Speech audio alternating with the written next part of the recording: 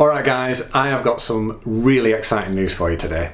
So if you're a fan of the channel, you'll know that we've done a bunch of videos from here at Lancaster University in the physics lab.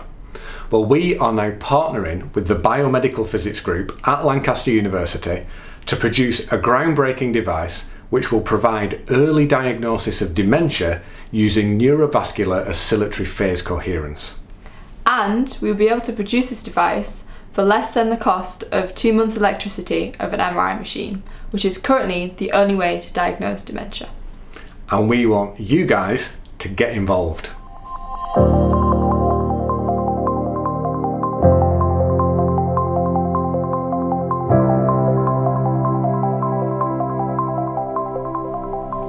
Currently, diagnosing dementia is a long, multi-step process involving a clinical assessment and either an MRI or CT brain scan. Now because of the cost and complexity of MRI, it means it's only available in specialist locations like hospitals. And that means that the wait time for a diagnosis for dementia can be very long, sometimes more than a year. Whilst no one enjoys getting an MRI scan, it can be particularly difficult or even impossible for certain groups of vulnerable people, meaning this device would be a game changing solution. Now, there's no cure for dementia, or at least not yet.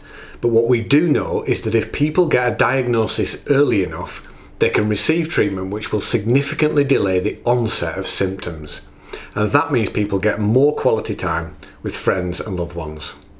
Now we can make this a reality with our device. It is a simple wearable cap, would be a fraction of the cost of an MRI, could be used by a trained nurse in a doctor's surgery or even at home, and has the potential to massively reduce wait lists down to almost zero. Now, we are lucky enough to be filming this in the UK, where access to diagnosis by MRI is at least possible. But for hundreds of millions of people on Earth, that's not their reality. So, our device could make diagnosis of dementia possible for everyone. We're going to tell you a bit about our device, but first, how can you get involved? This project is the culmination of decades of research by Professor Aneta Stefanovska and her biomedical physics research group. Now we're at the exciting point of time of being able to make this device a commercial reality and bring all of those positive changes to people that we've discussed. Now we need seed investors to help us get this over the line. So if you would like to help us change the world and make a great return on investment while doing so, please check out the link in the description below to find out how you can get involved. The opportunity is open to everyone, so we would love to hear from you. Now we're going to hear from Sam in the lab, who will tell us a bit about how it works. The device consists of three steps measuring the data, processing the data, and a user interface.